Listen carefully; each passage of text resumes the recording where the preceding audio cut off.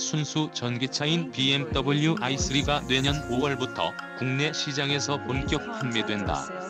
김효준 BMW 코리아 대표는 25일 서울 여의도 중소기업 회관에서 열린 제3차 전기차 리더스 포럼 의장 김필수 대림대학교 교수에서 이렇게 말했다.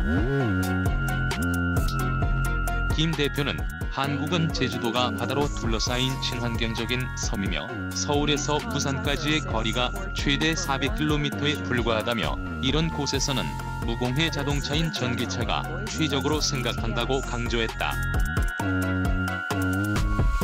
김 대표는 BMW i3는 지난 7월에 미국 뉴욕시와 영국 런던시, 중국 북경시에서 세계 최초로 동시에 공개했다며 한국 시장에서도 전기차의 잠재력은 매우 높은 것으로 생각하고 있다고 전했다.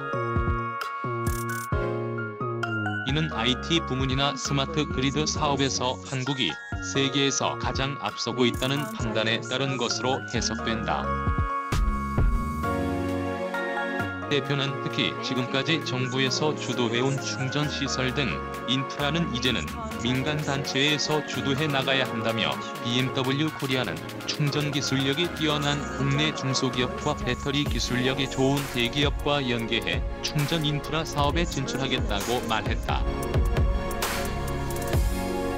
내년 5월부터 국내 시장에서 판매될 BMW의 순수 전기차인 i3는 전기 모터는 최고 출력 170마력, 최대 토크 25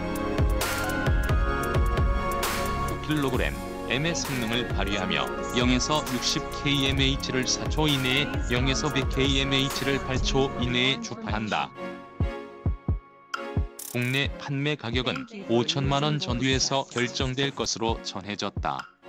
한편 BMW 코리아는 i3 구매자에게는 BMW의 전방위 전기차 서비스 솔루션인 360도 일렉트릭 패키지를 마련해 집에서도 충전할 수 있는 BMW i 월박스 월박스가 무료로 제공한다는 방법.